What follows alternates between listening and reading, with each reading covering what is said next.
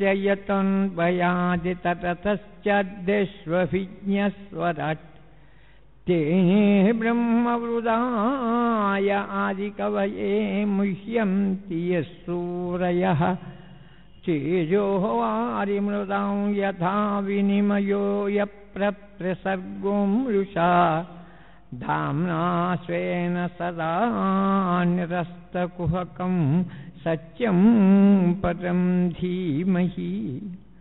धर्मप्रोज्झितकैतवोऽत्र परमो निर्मत्सराणां सतं वेद्यं वास्तवमप्रवस्तु शिवदं तापत्रयोन्मूलनम्। श्रीमद्भागवते महामुनिकृते किं वा परैरीश्वरः? सज्जो वृज्यवरुध्यते प्रकृतिभिः शुश्रूषिभिस्तक्षणात्। निगमकल्पतरोर्गलितः शुकमुखादमृतद्रवसंमितं पिबत भागवतं रसमालयं मुहुरहो रसिका भुवि भावुकाः नारायणं नमस्कृत्य नरं चैव नरोत्तमं देवीं सरस्वतीं व्यासं ततो जयमुदीरये। श्रीकैवल्यपदम्बुचेरुटकुनैचिन्तिञ्चदन् लोकरक्षैकारम्भकु भक्तपालनकला संरम्भकुन् సంరంభకున్ దానవోబ్రేకస్తంభకు కేళిలోల విలసభృగ్జాల సంభూత నానా కంజాత భవాండ కుంభకు మహాంగన అందాంగనాడింభకు ఏకత నైమిషక్షేత్రే ఏ మునయశౌనకాస్తయ అన్ని క్షేత్రాలలో కల్లా నైమిష క్షేత్రము అనేటువంటిది చాలా పరమ విశేషమైనటువంటిది అని పుణ్యదాయకమైనటువంటిది అని తపస్సులు చేసుకుంది నిలయమైనటువంటిది అని ఈనాటికి కూడా మునీశ్వరులు కూడా అక్కడ వృక్షరూపంలో శిలారూపంలో ఉండి తపస్సులు చేస్తూ ఉంటారు అని మనకు పురాణాల్లో చెప్తూ ఉంటారు. అందులో భాగవతంలో నైమిషారణ్యం గురించి చెప్తూ పుణ్యం బై మునివల్లభగణ్యం బై కుసుమ ఫలనికాయోత్థిత సాద్గుణ్యమయి నైమిషాఖ్యారణ్యం బునుతింపదగు అరణ్యంబులలో. మన మహర్షులు పుణ్యము పాపము అనేటువంటి పురాణాల్లో ఎక్కువగా వాడుతారు. అంటే మరి పుణ్యం అంటే ఏమిటండి? పాపం అంటే ఏమిటండి అంటే పుణ్యము అంటే చేయదగినటువంటి పని పాపము అంటే చేయకూడనటువంటి పని. చేయవలసిన పనుల ద్వారా మనం ఏ పనులైతే వేదం శాస్త్రం చెప్పిందో ఆ పనులు కనుక ఆచరిస్తే మనకు కలిగేది పుణ్యం. ఆ వేదము శాస్త్రము చెప్పినటువంటి కర్మలు ఏవైతే మనం ఆచరించకుండా ఉన్నామో అవి కనుక చేయకపోతే వచ్చేటువంటిది ఏదైతే ఉందో అది పాపం. కాబట్టి పుణ్యము పాపము అనేటువంటివి అది ఒక వస్తువు అని ఏం లేదు. పుణ్యము అంటే ఇది పుస్తకం అన్నట్టుగా ఇది సీసా అన్నట్టుగా అది మనం చెప్పడానికి ఏమీ లేదు. కాబట్టి ఈ లోకంలో పుణ్యం బై నైమిషారణ్యము అనేటువంటిది ఎటువంటిదయ్యా అంటే మంచి పుణ్యమైనటువంటిది అన్నారు. అంటే ఎల్లప్పుడూ మానవులు సంభర్షించవలసినటువంటిది నిరంతరము తపస్సు చేయవలసినటువంటిది అక్కడే గోమతీ నది అనేటువంటి నది ఉంటుంది. ఆ నదీ స్నానం కూడా చాలా పరమ శ్రేష్టమైనటువంటిది మునివల్లభగణ్యం బై బ్రహ్మగారి ఆదేశం ప్రకారంగా కలియుగ బాధలు తనల్ని అంటకుండా ఉండాలి అని అన్నట్లయితే ఎనభై ఎనిమిది వేల మంది ఋషీశ్వరులు తపస్సు చేసినటువంటి పుణ్యభూమి అది.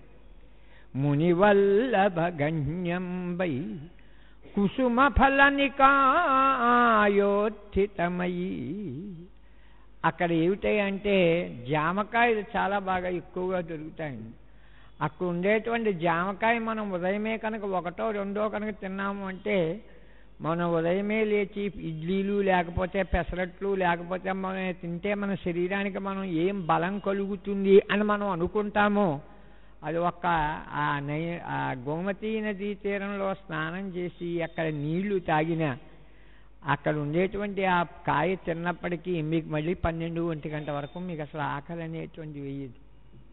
మేమందరం వెళ్ళి అందరం మేము అక్కడ నైమిసారైనా మేము వెళ్ళిన వాళ్ళమే. అక్కడ ఉండేటువంటి పాలు కూడా గేదెలు ఉండవండి అక్కడ ఎక్కువ అసలు. గేదె కనపడదు అన్నీ ఆవులే. ఆ ఆవు పాలు చాలా అవి పలచగా ఉంటాయండి. ఆ పలచగా ఉన్నటువంటి ఆవు పాలు తాగినప్పటికీ కూడా మనకు అసలు ఏ విధమైనటువంటి మరి నీరసము అనేటువంటి రాదు. అంచేతనే వాళ్ళకి తపస్సులు ఆ విధంగా చేయగలిగారు వాళ్ళు. కాబట్టి ఎల్లప్పుడూ పుష్పాలతోటి ఫలాలతోటి కుసుమ ఫలనికాయోత్థితమై నైమిషారణ్యాఖ్యం బునుతింపదగు అరణ్యంలో మన భారతదేశంలో బదరికా వనము అని చెంపక వనము అని దండక వనము అని లేకపోతే నైమిష వనము అని ఇలా చాలా అరణ్యాలు ఉన్నాయి.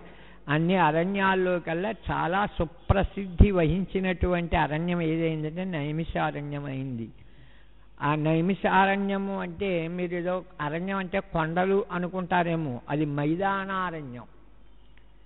సమప్రదేశములో ఉండినటువంటి అడవి కాబట్టి అటువంటి నైమిషారణ్యంలో బ్రహ్మగారి ఆదేశం ప్రకారంగా శౌనకాది మహామునులందరూ కూడా అక్కడ వాళ్ళు తపస్సులు చేసుకుంటున్నటువంటి వారై ద్వాదశ వర్ష పరిమితమైనటువంటి సత్రయాగము అనేటువంటి ఒక యాగాన్ని ప్రారంభించారు అని.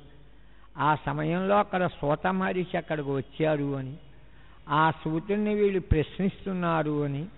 ఆ ప్రశ్నించడంలోనే నీకు తోచినదేదో మాకు చెప్పవయ్యా అని అడగకుండా మాకు ఈ విషయాన్ని మాకు చెప్పవలసింది అని అడుగుతున్నారు. అది ఎప్పుడూ కూడా వక్త శ్రోతలు ఏది కావాలనుకుంటున్నారో అవి చెప్పాలి తప్ప నాకు వచ్చింది చెప్తాను అంటే అది న్యాయం కాదు అది ఉత్తమ వక్త యొక్క లక్షణం కాదు అది కాబట్టి శవునికాది మహామునులు కూడా సోతమునీంబులని ఏమని అడుగుతున్నారు అన్నట్లయితే యవ్వని అవతారము ఎల్లలోకములకు సుఖమును వృద్ధియు సొరిది చేయు.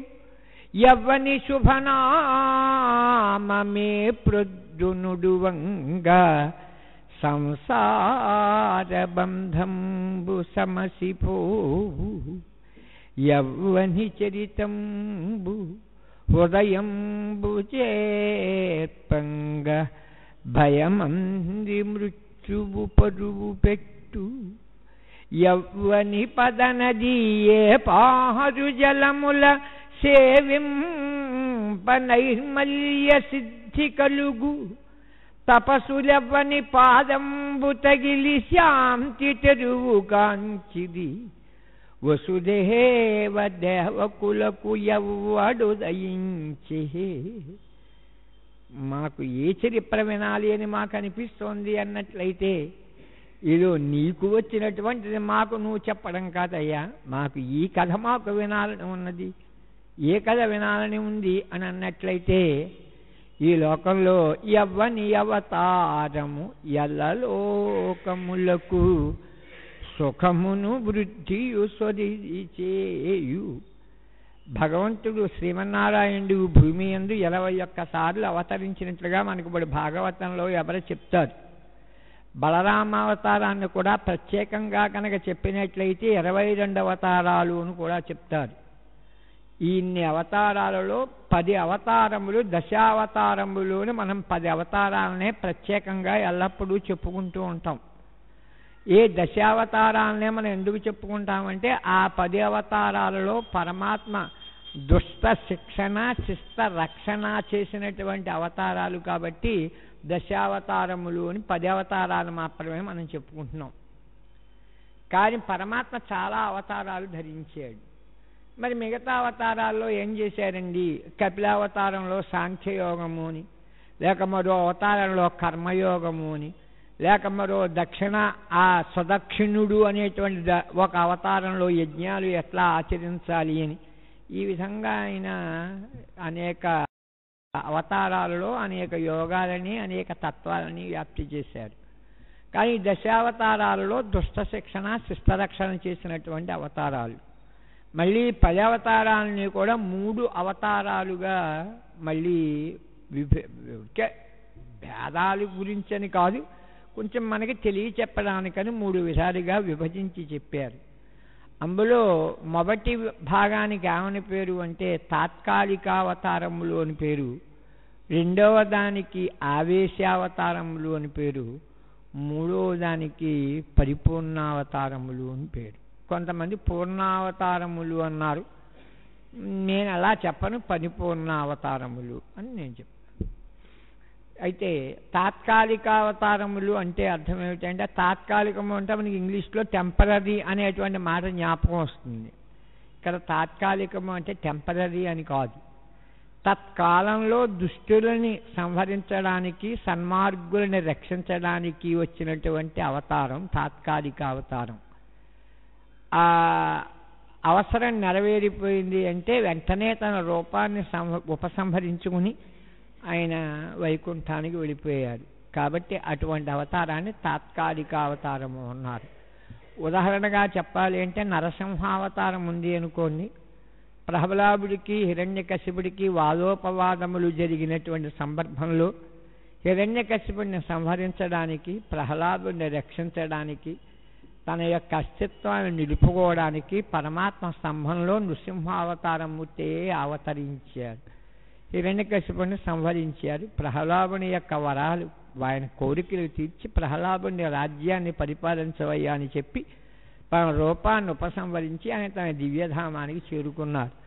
అటువంటి అవతారాలను ఏమన్నారు అంటే ఇవి తాత్కాలిక అవతారములు అన్నారు. ఇక రెండో అవతారాన్ని ఆవేశ అవతారములు అన్నారు. పరమాత్మ ఎల్లప్పుడూ సత్వగుణంతో ప్రకాశించాలి. పరమాత్మలో మనలో ఉండేలాగా తమో గుణము రజోగుణము పరమాత్మలో ఎక్కువ ఉండకూడదు. పరమాత్మలో ఎల్లప్పుడూ సత్వగుణము మాత్రమే ఉండాలి. కానీ తమో గుణం తన దగ్గర కనుక లేకపోతే దుష్ట సంహారం చేయడం కష్టమైపోతుంది. ఇంకా ఎన్ని విధాలుగా చెప్పి చెప్పి చెప్పినా వినపకపోతే అప్పుడు తన తమో గుణాన్ని ఒక్కసారి ఆవేశింపచేసుకుని అప్పుడు దుష్ట సంహారం చేస్తారు. కానీ పూర్తిగా తమో గుణానికి కనుక అంకితమైపోతే అటువంటి అవతారాన్ని ఆవేశ అవతారము అంటారు. పరశురాముడు ఉన్నాడు అనుకోండి మహావిష్ణువు యొక్క అవతారం. చాలా గొప్పవాడు.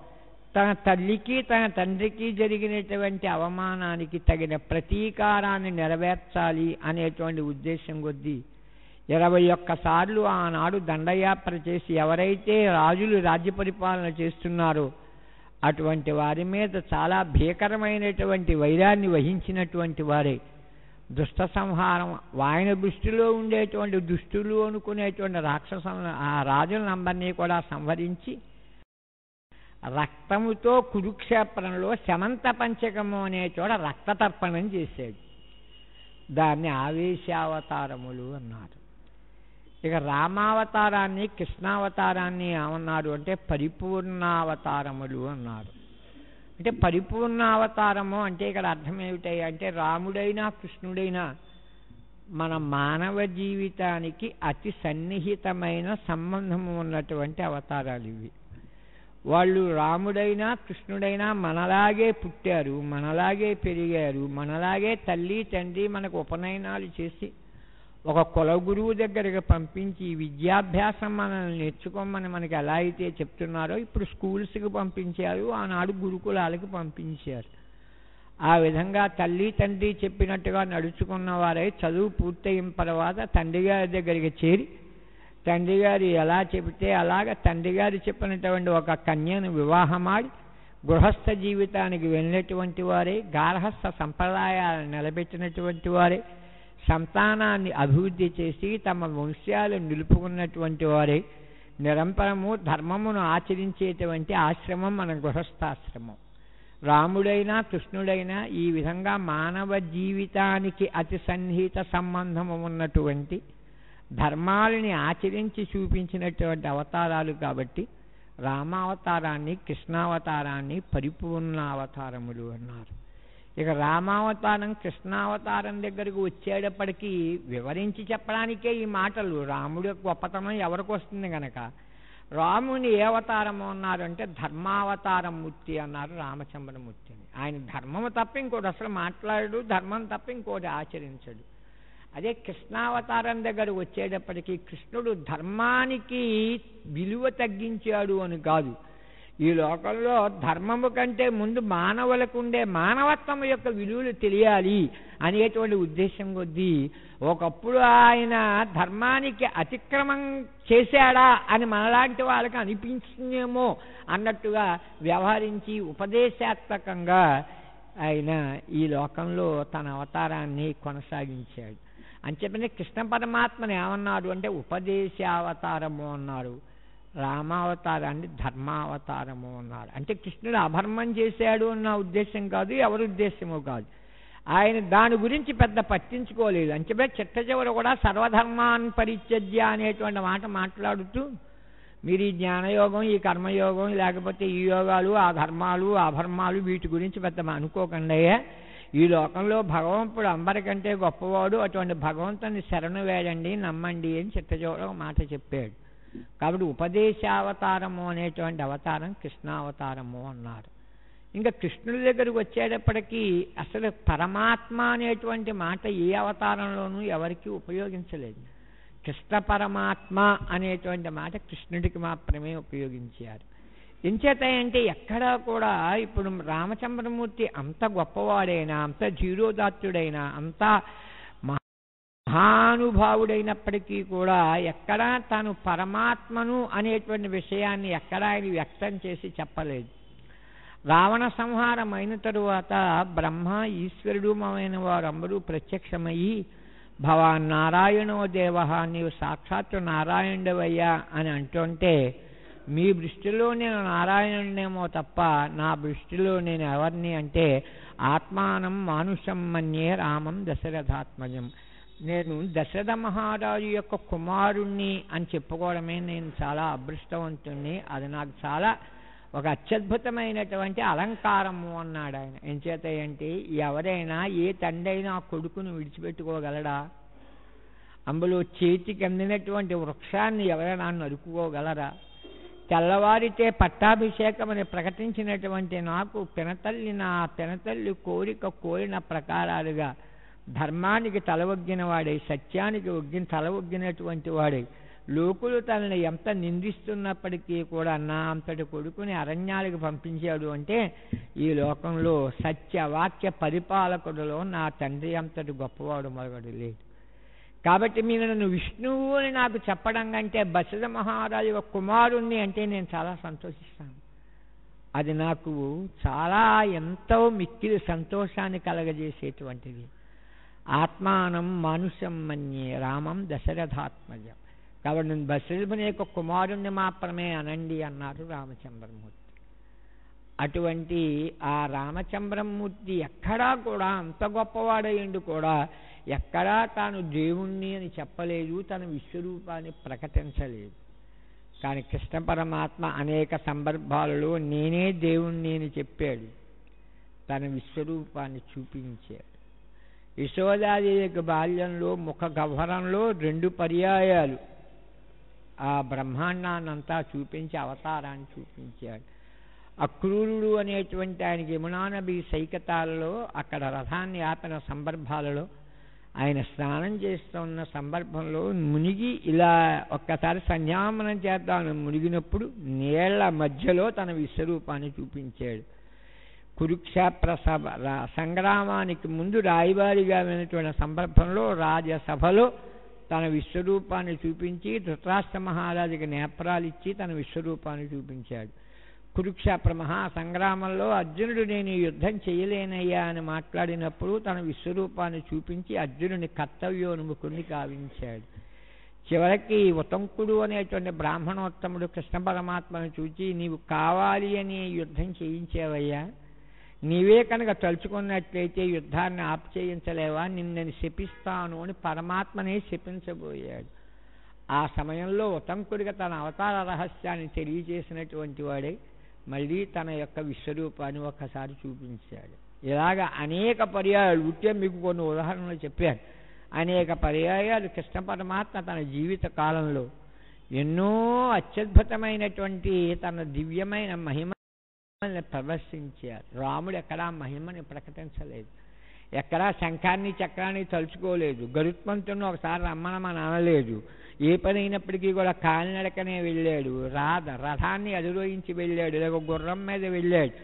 చేతిలో ఉండే విల్లు పట్టుకుని దాన్ని నమ్ముకునే ఆయన తన జీవనయాత్ర గడిపాడు. కాబట్టి ఈ లోకంలో తను దేవుణ్ణి అని చెప్పి ప్రపంచానికి చెప్పి నన్ను విశ్వసించండి. ఈ లోకంలో దైవం యొక్క గొప్పతనం ఏమిటో అర్థం చేసుకోండి అని తెలియచెప్పినటువంటి అవతారం కృష్ణావతారం. కాబట్టి ఎవని అవతారం ఎల్లలోకములకు సుఖమును వృద్ధియు సొరిది చేయు. ఆ కృష్ణావతార వైభవాన్ని కనుక విన్నట్లయితే సర్వసంగ పరిత్యాగం చేసిన ఋషీశ్వరులు కూడా అసలు వాళ్ళు దేవుడికి దండం పెట్టరండి వాళ్ళు. పెట్టవలసిన అవసరం లేదు. ఏం చేయమంటే ఏ పరమాత్మ ఉన్నాడో ఆ పరమాత్మ నిర్వికార రూపాన్ని ఎల్లప్పుడూ ఉదయంలో ధ్యానిస్తూ ఉంటారు వాళ్ళు. ఒక యజ్ఞాలకు వచ్చినా యాగాలకు వచ్చినా వాళ్ళు దేవుడికి నమస్కరించవలసిన అవసరం లేదు. వాళ్ళు కూడా నమస్కారం పెడతారు. ఎందుకంటే మనలాంటి వాళ్ళని సక్రమ మార్గంలో నడిపించడానికి. అటువంటి మునీశ్వరులు కూడా మగుశోభన సరస్వతి అనేటువంటి ఆయన అద్వైత సిద్ధి అనే పుస్తకం రాశాడు.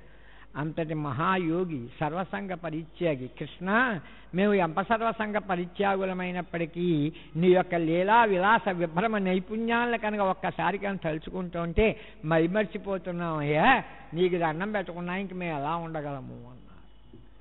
కాబట్టి ఈ లోకంలో అంత గొప్ప గొప్ప సన్యాసులు యొక్క హృదయాలను కూడా ఆవిష్కరింపచేసినటువంటి మహా మహిమానుభావుడు మహా మహానుభావుడు ఎవరయ్యా అంటే శ్రీకృష్ణ పరమాత్మ.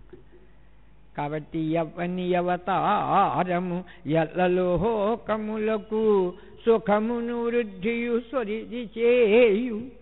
ఎవని శుభనామే ప్రద్దునుడువంగా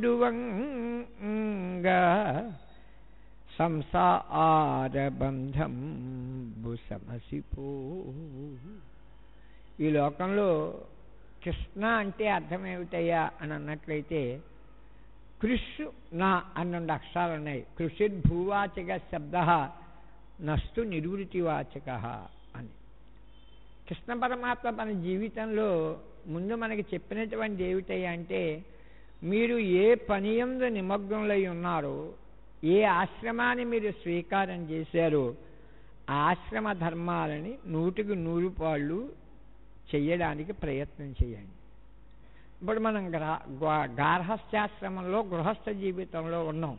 ఈ గృహస్థ జీవితంలో మనం చేయవలసిన ధర్మాలు మనం ఆచరించాలి. ఇది కృష్ణ పరమాత్మ చెప్పారు చిన్నప్పటి నుంచి తల్లిదండ్రులు పెరగడం వాళ్ళు చెప్పినట్టుగా వెళ్ళడం వాళ్ళ లాలన పాలన చూస్తూ ఉండడం మొదలైనటువంటి విషయాలు ఏవైతే ఉన్నాయో అవన్నీ కూడా గృహస్థ జీవితంలో చాలా గొప్పవి. ఇంటికి వచ్చినటువంటి అతిథి కనుక వచ్చినట్లయితే అతిథిని గౌరవించడం గొప్పది. ఇవన్నీ గృహస్థాశ్రమిక ధర్మాలు. ఆ ధర్మాలు మనం నూటికి నూరు మనం పాళ్ళు మనం ఆచరించాలి. కాబట్టి ఇది గృహస్థాశ్రమం. లేక సన్యాసాశ్రమంలో కనుక వెళ్ళావా?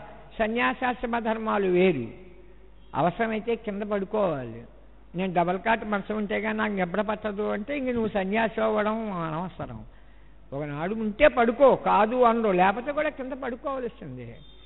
ఒకనాడు కనుక భోజనం కనుక చేయవలసి వస్తే ఎవరైనా అయ్యా భిక్షాటనకు రండి అంటే వాళ్ళ ఇంట్లో కనుక ఒకనాడు కనుక చార్నీళ్ళు ఉంటే చార్నీళ్ళతో భోజనం పెడితే అదే పరమ దివ్యమైనటువంటి భోజనంగా స్వీకరించాలి.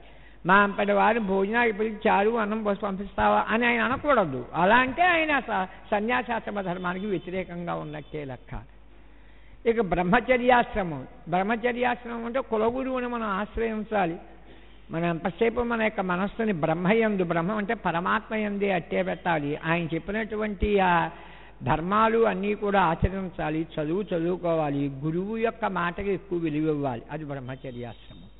ఇవి రెండోది గృహస్థాశ్రమం. తండ్రి యొక్క మాటకి విలువ ఇవ్వాలి తండ్రి ఏ కన్యను వివాహమాడమన్నాడు ఆ కన్యను వివాహమాడాలి. తన కుల ఆచారాలను నిలబెట్టాలి కుల దైవతాన్ని పూజించాలి. ఇది గృహస్థ జీవితం. ఇది కర్మ సిద్ధాంతం అంటే కాబట్టి కృష్ణ పరమాత్మ కూడా భగవద్గీతలో మనకి ఏమని చెప్పాడు అంటే కర్మణ్యేవాధికారస్తే మా ఫలేషు కదాచన మా కర్మ ఫలహేతుర్భూ మా తే సంగోస్వ కర్మణి ఈ లోకంలో పుట్టినవాడు ప్రతి వ్యక్తి కూడా ఏం చేయాలంటే కర్మని ఆచరించడం తప్పదు అని కర్మ సిద్ధాంతాన్ని ఎక్కువగా ప్రవర్తింప చేసినటువంటి వాడు. కాబట్టి కృషి భూవాచక శబ్ద.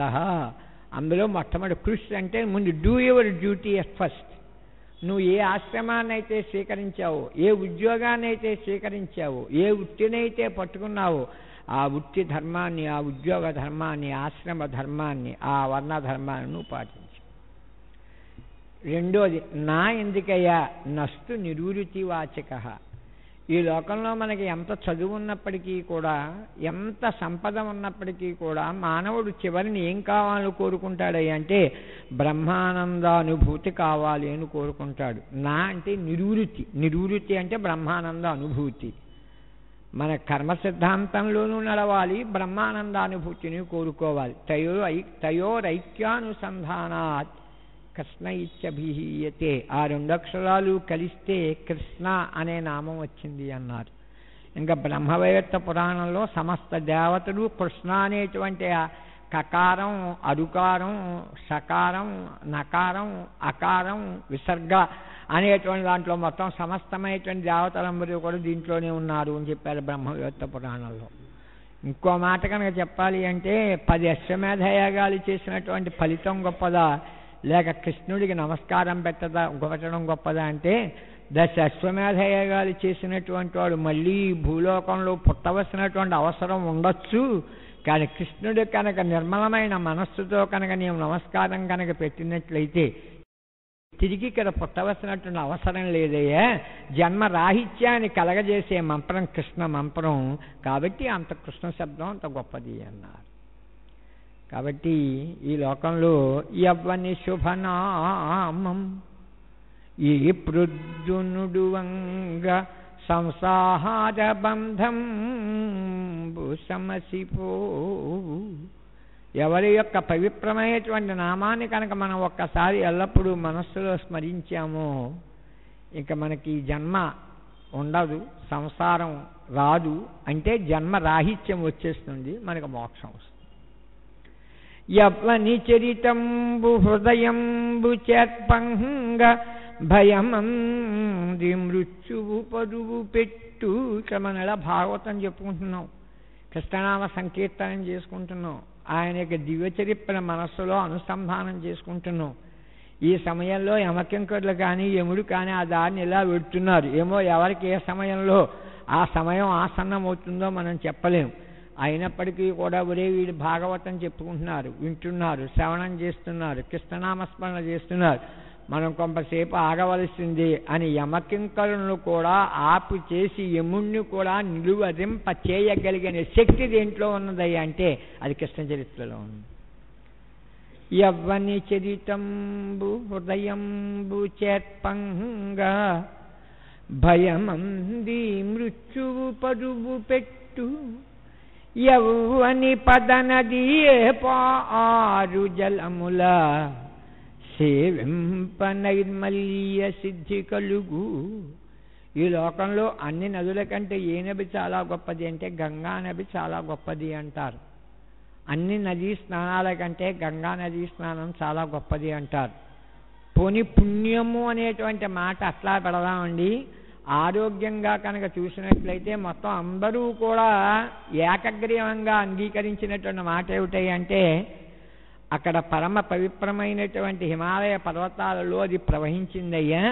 అక్కడ గొప్పదైన దివ్యమైనటువంటి ఓషధులు ఉన్నాయి ఆ ఓషధి సమ్మిశ్రితమైనటువంటి ఆ జలములో కనుక స్నానం కనుక చేస్తే పుణ్యము అనేటువంటి మాట పక్కన పెట్టడం ముందు ఆరోగ్యం బాగుంటుంది అన్నారు.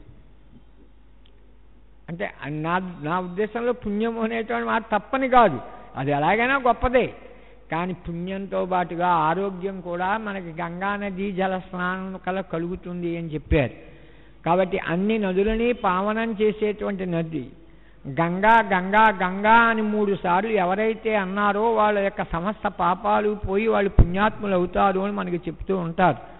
కాబట్టి అటువంటి పరమ పవిత్రమైన గంగానది అందరినీ పవిత్రం చేసి సకల పావనులను చేసేటువంటి గంగానది ఎక్కడ పుట్టిందయ్యా? యౌవని పదనది ఏ పారు జలముల సేవింపనైర్మల్య సిద్ధి కలుగు. సమస్తమైన పాపాత్మలని పుణ్యాత్ములుగా మార్చినటువంటి ఏ పరమ పవిత్రమైనటువంటి గంగానది ఉన్నదో ఆ గంగా కానిది ఎవరి పాదాలలో పుట్టిందయ్యా? ఆ విష్ణువు యొక్క పాదాలలో పుట్టింది. అందుకే కృష్ణ పాదాలలో జన్మించింది. ఇంకో మాట చెప్తున్నారు. ఈ లోకంలో తపసులవ్వని పాదంబు తగిలి శాంతి తెరువు కంచిది. మహాయోగీశ్వరేశ్వరులైనటువంటి వారు కూడా కర్మ సిద్ధాంతం మాకు అక్కర్లేదు జ్ఞాన సిద్ధాంతం ఒకటే మాకు చాలు అని అన్నీ వదిలిపెట్టి మాకు భార్య అక్కర్లేదు పిల్లలు అక్కర్లేదు పొలాలు అక్కర్లేదు మాకేమీ అక్కర్లేదని అరణ్యాలలోకి వెళ్ళిపోయి తపస్సు చేసేటువంటి యోగీశ్వరేశ్వరులు ఎవరైతే ఉన్నారో వాళ్ళు కూడా తపస్సులు ఎవ్వని పాదంబు తగిలి శాంతి చెరువు కంచిది. అటువంటి వాళ్ళు కూడా ఒక్కొక్కప్పుడు ఆ కృష్ణ లీలా విలాసాలను మనస్సులో అనుసంధానం చేసుకుని మరి ఎల్లప్పుడూ కూడా కృష్ణుడిలో ఐక్యమైపోయినట్టుగా వారి జీవితాన్ని వెళ్ళబుచ్చారు. వసుదేవ దేవకులకు ఈ లోకంలో ఆ పరమాత్మ కృష్ణ పరమాత్మ ఆయన నిర్గుణ బ్రహ్మస్వరూపమైనటువంటి ఆయన సగుణ పరమాత్మగా ఆవిర్భవించారు. ఎవరికి అవతరించారయ్యా? వసుదేవుడికి దేవకీదేవికి కుమారుడుగా ఆవిర్భవించాడు. వసుదేవ దేవకులకు ఎవ్వడు దయించే తత్కథలల్ల వెనగా హిచ్చ పుట్టెడు ఆ కృష్ణ పరమాత్మ యొక్క చరిత్ర వినాలి అనేటువంటి కోరిక మాకు కలుగుతోందయ్యా. కాబట్టి ఓ సోతముని ఇంబ్రా ఆ విషయాన్ని మాకు తెలియచేయి. ఈ లోకంలో భగవంతుడు కనుక ఈ చెవులు ఇచ్చాడు అంటే భూషణములు ఆనికి అఘపేషణములు మృత్యు చిత్త భీషణములు వృత్తోషణములు కళ్యాణ గుణ విశేషములు హరిగుణోపచిత భాషణములు ఇది పోతన గారి కవిత్వం అంటే. ఎలా రాస్తారంటే ఈ లోకంలో ఈ మహావిష్ణువు యొక్క నామాలు కానీ కథలు కానీ ఎటువంటివయ్యా? భూషణములు వానికి మన చెవికి సర్వసాధారణంగా ఏదో కుండలాలు తగిలించుకును లేక ఏదో జూకాలు తగిలించుకును ఈ చెవులు అందంగా ఉండాలి అని అనుకుంటాం. కానీ ఈ చెవులు నిజంగా అందంగా ఉండాలి అన్నట్లయితే ఏదో కుండలాలు ఇవి ధరించడం వల్ల అని కాదయ్యా ఆ భగవంతుని యొక్క కృష్ణుని యొక్క స్మరణ ఎవరైనా చెబుతూ ఉంటే వింటే భూషణములు వాణికి లేకపోతే సరస్వతీదేవికి అలంకారములు. అఘపేషణములు. మానవులు మనం ఏ పాపము చేయకుండా ఉండలేము. పాపం అంటే చెప్పాను కాని పని చేయకుండా ఏదీ ఉండలేము మనం. అర్థమైందండి? అసలు కత్తి మీద సాములాంటిది నదికి స్నానానికి కనుక వెళ్ళాము అన్నట్లయితే సబ్బు పెట్టి తోముకోకూడదు. అక్కడ తోమేస్తాం. మహా మహాపాపం. ఏం చేద్దంటే ఆ నొరగ కనుక ఏ ఇచ్చినా చేపలు తిన్నాయంటే చచ్చిపోయాయంటే నీకు పాపమే నువ్వు పుణ్యం అనుకుంటున్నావు అంతే. ఇక ఆడవాళ్ళు అంపై ఇంత పసుపు కుంకుమ రాసేసుకొని అక్కడ పెట్టేసి ఆ పొట్లాలు దాంట్లో విసిరేస్తారు. చిన్న చేపలు తినేసేసేయి చచ్చిపోయి. పాపమే కొన్ని సమయాల్లో తెలియకుండా నవ్యవసన స్నానమాయ దిగంబరంగా స్నానం చేస్తాం మహాపాపం. ఏ రైలు మీద నా వెళ్తున్నప్పుడు గమని తుప్పు అని చెప్పి ఉమ్మేస్తావు. ఆ ఉమ్ము కనుక ఎవరి మీద నా పడితే లేక నీళ్ళలో కనుక పడితే జీవులు కనుక చనిపోతే నీకు పుణ్యం రాలేదు. పాపం వచ్చేసింది నీకు ఒకసారి. చాలా అసిధారావర్తం అండి కర్మ సిద్ధాంతం అంటే. కాబట్టి ఏ పాపము చేయకుండా జీవించడం చాలా కష్టం. మరి ఇటువంటి పాపాలు పోగొట్టుకోవాలంటే ఇగో ఇటువంటి కృష్ణనామస్మరణ చరిత్ర చదవాలయ్యా. అఘపేషణములు మృత్యు చిత్త భీషణములు ఇందాకనే చెప్పాను మృత్యుదేవత కూడా భయపడతాట. కృష్ణనామస్మరణ చేస్తుంటే నా నామస్మరణ చేస్తుంటే నా భక్తుడు నువ్వు తీసుకెళ్ళావో? చూడు నీ సంగతి ఏమిటో చూస్తాం అని కృష్ణ పరమాత్మ వాళ్ళ మీద వైరాన్ని పొందుతాట ఎముడి మీద ఎమ్మకంకర్ల మీద కూడా. హృత్తోషణములు ఏ? ఇంతంత దూరాల నుంచి ఎందుకు వస్తున్నారండి? ఇక్కడ ఇంత చేస్తే గంట పావు గంటన్నర ఉపన్యాసం విందామని. అంటే ఈ గంటన్నర రెండు గంటలో ఏదో విధమైన మీకు ఆనందం కలుగుతుంది కదా. ఇన్ని డబ్బులు ఖర్చు పెట్టుకుని వెంకటేశ్వర స్వామి గుడికి తిరుపతి వెళ్ళిన సందర్భంలో పన్నెండేసి గంటలు ఇరవై నాలుగేసి గంటలు ఒక్కొక్కసారి ఆ క్యూలో నిలబడి నిలబడి నిలబడి కొంతమంది అనుకుంటారు ఏమండి ఇంత క్యూలో నిలబడి వెళ్ళి ఆయన దండం పెట్టకపోతే? ఆయన ఒక్కసారి చూసిన వెంటనే ఇంత ఇంత తాపము పోతుందండి ఇంత అలసట ఒక్కసారి పోతుంది. వృత్తోషణములు కళ్యాణ గుణ విశేషణములు హరిగుణోపచిత భాషణములు ఆ హరికి సంబంధించినటువంటి మాటలు ఏవైతే ఉన్నాయో అవి మనకి నిరంతరము కళ్యాణం శుభాన్ని కలగజేస్తాయి. కాబట్టి మాకు నువ్వు ఏం చెప్తావు అంటే ఆ విష్ణు చరిత్ర చెప్పు. మాకు మరో కథ మరో కథ మాకు చెప్పవద్దు. అరినామ కథన దవానల జ్వాలచే ఏ కాలవే ఏ ఘోరాఘ కాననములు. అరణ్యాలలో ఒకప్పుడు చెట్టు చెట్టు తగులుకొని రాపాడించుకుంటే దానికి మధ్యన నిప్పు రవ్వలు ఒక్కసారి పుట్టి దాన్నే దావానలము అంటారు. ఆ దావానల వల్ల అరణ్యాలు అరణ్యాలు అంటుకుపోయినట్టుగా మేము కూడా మా జీవితంలో దావానలం ఒక్కసారి వ్యాపించి మేము చేసిన పాపాలని ఒక్కసారి హరించిపోవాలయ్యా. అలా దావానలం ఎలా వ్యాపిస్తుందయ్యా? హరినామ కథన దావానల జ్వాల చే ఆ మహావిష్ణువు యొక్క చిరిప్ర అనేటువంటి దావానలం కనుక ఒక్కసారి మనలో కనుక ప్రవేశించిందా పాపాలన్నీ ఒక్కసారి కాలిపోతాయ్యా. హరిర్ హరతి పాపాని దుష్ట చిత్తైరపి స్మృత అన్నారు. అయ్యా హరి అనేటువంటి నామాన్ని కనుక ఒక్కసారి కనుక నోటితో కనుక అన్నట్లయితే చాలుట సర్వ పాపాలు నశించిపోతాయి అన్నారు. ఎలాగయ్యా? నాకు దాంట్లో అర్థం తెలియదండి. అర్థం తెలియకపోయినా ఎలా పోతాయని. అర్థంతో సంబంధం లేదయ్యా. అక్కడ నిప్పు పెట్టావు అగ్నిహోత్రాన్ని. చిన్నవాడు వచ్చి ముట్టుకుంటాడు పెద్దవాడు వచ్చి ముట్టుకుంటాడు. ఏ పెద్దవాడి జ్ఞానం ఉంది కదా. అగ్నిహోత్రం నన్ను ముట్టుకుంటే కాల్చనా అని వాడినే కాలుస్తాను. చిన్నపిల్లవాడి జ్ఞానం లేదు. పాపం వాడిని పా- నా మీద చేయి వేసినా వాడిని కాల్చను అని అగ్నిహోత్రం అనుకోదయ్యా. దానిలో దాహక శక్తి అనేటువంటి శక్తి ఉంది అది పెద్దవాడు పెట్టినా చిన్నవాడు పెట్టినా జ్ఞాని పెట్టినా అజ్ఞాని పెట్టినా పండితుడు పెట్టినా పాములు పెట్టినా ఆ చెయ్యి కనుక దాని మీద వేస్తే అది కాలుస్తుందయ్యా.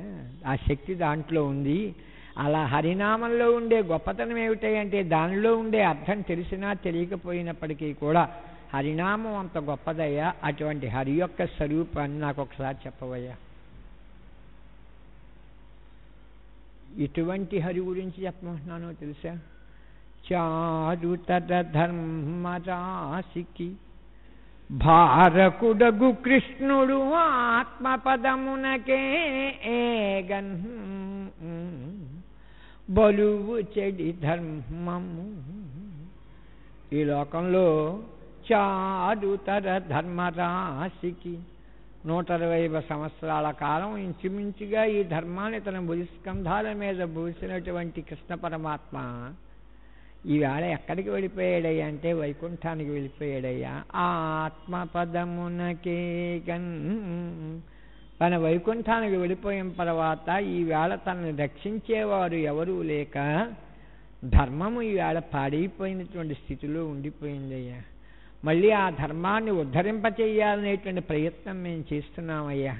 కాబట్టి ఒకనాడు ఆ కృష్ణుడు మేము చూడలేకపోయినా ఇప్పుడు ఈనాడు ఆ కృష్ణ చరిత్రను అనుసంధానం చేసుకోవాలి అనుకుంటున్నామయ్యా. కాబట్టి అటు కృష్ణ చరిత్రను నాకు చెప్పవలసింది మాకు చెప్పవలసింది అని శౌనికాది మహామునులు ఇంత ఉపోద్ఘాత రూపంగా అడిగారు. అడగడమే ఇలా అడిగారు. అలా అడిగితే అప్పుడు ఆ సోత మహర్షి మొదటిసారిగా నమస్కారం పెడుతున్నాడు. ఎవరికి నమస్కారం పెట్టాడు అంటే భాగవతాన్ని చెప్పినటువంటి సుఖముని మునీంద్రునికి చెప్పాడు. రాసినవాడు వ్యాసుడు రాశాడు. చెప్పినవాడు ఎవరు చెప్పాడంటే సుఖయోగేంద్రులు వారు చెప్పారు.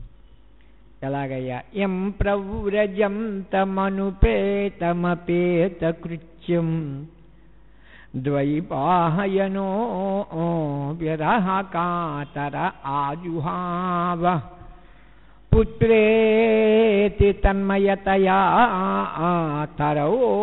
తరవోభినీరు తం సర్వభూత హృదయం మునిమానతోస్మి ఒక్కసారి మనం ఈ భాగవత ప్రవచనం ఒక్కసారి ఇలా పక్కన పెట్టి కొంచెం ఇంకో చోటకి వెళ్దామండి. కైలాసంలో ఒకనాడు పార్వతీ పరమేశ్వరులు ఉండగా ప్రమదగణాలు నాట్యం చేస్తూ ఉండగా అమ్మవారు పార్వతీదేవి పరమేశ్వరుని ఒక కోరిక కోరిందండి.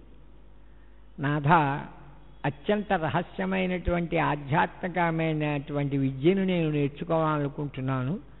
దాన్ని నాకు తెలియచెప్పవలసింది అని. ఆధ్యాత్మిక విద్య అంటే చనిపోయిన తర్వాత మనిషి ఎక్కడికి వెళ్తాడు? వాడికి మోక్షం కనుక రాకపోతే ఎలా పుట్టింపబడతాడు? ఏ ఏ పాపాలు ఏ పుణ్యాలు చేసిన వాళ్ళు ఎలా ఎలా పుడతాడు? నాకు ఈ విషయాన్ని తెలియచెప్పవలసింది అనేటువంటి చదువు ఏదైతే ఉన్నదో దాన్ని ఆధ్యాత్మిక విద్య అంటారు. నాకు ఆ విషయాన్ని చెప్పవలసింది అని పార్వతీదేవి అడిగిందండి. అలా అడిగేటప్పటికీ ఈశ్వరుడు ఒక మాట అన్నాడు. ఇది నువ్వు అడిగినటువంటి విషయం ఎవరు అడిగారో వాళ్ళకే చెప్పాలి. కింద ప్రమదగణాలందరూ వింటున్నారు కదా. మరి నువ్వు అడిగావు ఇప్పుడు నేను చెప్తే వాళ్ళు కూడా వింటారు కదా. వాళ్ళకి వాళ్ళకి వినాలని ఉండవచ్చు ఉండకపోవచ్చు. కాబట్టి దీన్ని అత్యంత గోప్యము రహస్యము అనే మాట మాట్లాడతారు పురాణాల్లో. ఇక్కడ గోప్యము రహస్యము అంటే మిగతా వాళ్ళు ఎవరు వినకూడదు అని కాదు. ఎవరు వినాలనుకున్నారో వాళ్ళే వినాలి. అది గోప్యము రహస్యము అంటే గుప్పు రక్షణే. మంత్రాన్ని రక్షించాలి. ఎవరు కావాలనుకున్నారో వాళ్ళకి చెప్పాలి తప్ప మరొకరికెవ్వరికి కూడా చెప్పేయకూడదండి. కాబట్టి ఇప్పుడు నీకు కావాలని నువ్వు అడిగావు కాబట్టి నేను నీకు చెప్తాను. ఏకాంత ప్రదేశానికి తీసుకెళ్తాను. అక్కడి నీకు రహస్యంగా చెప్తాను. అని చెప్పి ఎవరూ లేని ప్రదేశాన్ని చూచుకున్నారట. చూచుకుని ఎవరూ లేని ప్రదేశం ఏదంటే అమరనాథ్ గుహకి తీసుకెళ్ళారు. అమర్నాథ్ గుహ అంటే అవి మంచు గుహలు. అక్కడ బిలో టెంపరేచర్ సూక్ష్మజీవులు కూడా కొండవు చచ్చిపోతాయి అక్కడ. అటువంటి గుహలోకి తీసుకుని వెళ్ళి అక్కడ అమ్మవారి పార్వతీదేవికి ఆధ్యాత్మికమైనటువంటి విషయాన్ని చెప్పడం ప్రారంభించారు. అలా చెప్తుంటే సరస్ ఇప్పుడంటే ఇలా మైకులు అవి ఉన్నాయి కానీ పూర్వకాలంలో చెబుతున్నప్పుడు పక్కన ఊ కట్టేవాడు అక్కడ ఉండేవాడు. ఆ ఊ కడుతూ ఉంటే వీళ్ళు చెప్తూ ఉండేవాడు ఇప్పుడు ఈశ్వరుడేమో చెప్పడం ప్రారంభించారు అమ్మవారు ఊ కొంతసేపటికి అయ్యేప్పటికీ మనం ఏదైనా ఒక విషయాన్ని తదేక దృష్టితో కనుక విన్నాము అనుకోండి మన పంచమహాభూతాలు ఒక్కసారి ఒక విధమైనటువంటి ఆనందానుభూతిలోకి పంచ శరీర తత్వాలు ఉన్నాయి కదా ఈ తత్వాలు ఒక్కసారి దాంట్లో లీనమైపోతాయి. లీనమైపోతే ఒక విధమైన మగత వచ్చేస్తుంది. మగత అంటే నిబ్రలోకి వెళ్ళిపోతాయి అది నిబ్ర కాదండి అది. అవి నిబ్ర అనుకోవడం చాలా పొరపాటు అండి ఒక భగవత్ సంబంధమైనటువంటి కథ మనం వింటున్నప్పుడు ఆ సంబంధమైనటువంటి ఆ కథ ఆనందములో ఒక్కసారి మునిగిపోయినటువంటి వాళ్ళమై మనం ఒకసారి దాంట్లోకి వెళ్ళిపోతాం. అలా అమ్మవారు కూడా అటువంటి అత్యద్భుతమైనటువంటి ఆధ్యాత్మిక సాగరంలో ఒక్కసారి మునిగిపోయింది. అలా మునిగిపోయి ఒక్కసారి మగత ఆవహించింది ఆవిడ ఆవహించి ఒక్కసారి ఆవిడ ఊకట్టడం మానేసింది. కానీ ఎవరో ఊ కట్టేశాడు ఈశ్వరుడు కూడా చెప్పవలసింది చెప్పేశాడు. మధ్యలో ఏమైనా చూసుకుంటాడా? ఈశ్వరుడు మళ్ళా ఏమిటి మైక్ పలికిందా లేదా? ఎంతమంది అని వచ్చారు? వాళ్ళు వింటున్నారా లేదా? నేను చెప్పచ్చా? చెప్పకూడదు? ఇలా ఆయనకి ఏం ఉండదు. ఏవైనా అడిగితే చెప్తాడు. వింటే విను లేకపోతే మానే. అంతే ఈశ్వరుడు చెప్పడం వెళ్ళకూడదు అంటే ఏమైనా? అయిపోయింది. ఊ కట్టడం కూడా పూర్తయిపోయింది. చూశారు. అమ్మవారు నిబ్బలో ఉన్నారు ఎవరు ఊకెట్టారా అనుకున్నాడు. ఆ సమయంలో కింద ఒక చిలక ఊకెట్టినటువంటి చిలక ఒక్కసారి గమ్మని ఎగిరిపోయింది. అప్పుడు ఈశ్వరుడు అసలు ఆధ్యాత్మిక రహస్యాన్ని చెబితే కానీ వినకూడదు నువ్వు అడిగితే కానీ నేను చెప్పకూడదు. కాబట్టి నువ్వు ఎందుకు ఈ విధంగా నేను నువ్వు నన్ను అడగకుండా నేను చెప్తుంటే ఎందుకు విన్నావు అన్నారు పాప అదేం చేసింది? నా తప్పేం లేదయ్యా. నువ్వు ఇక్కడికి వచ్చి నీ భార్యతో వచ్చిన సందర్భంలో నేను గుడ్డు రూపంలో ఇక్కడ ఉండిపోయాను.